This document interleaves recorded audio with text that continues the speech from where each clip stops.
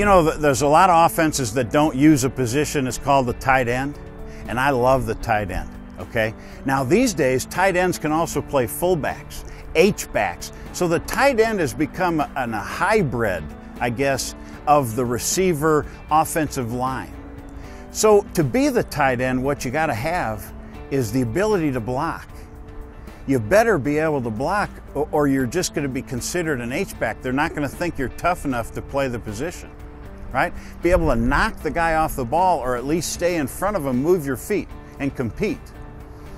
You got to be able to run routes as a tight end. You're a wide receiver when you're out in space. Be able to stick your foot in the ground and run that in, or run that curl, or hook, or the different routes, that seam route, right? Understand how zones are trying to cover you and get in the hole of that zone. So you got to be an offensive lineman and a wide receiver mixed into one. And I think the tight end has got to be the best athlete on the field in many cases, right?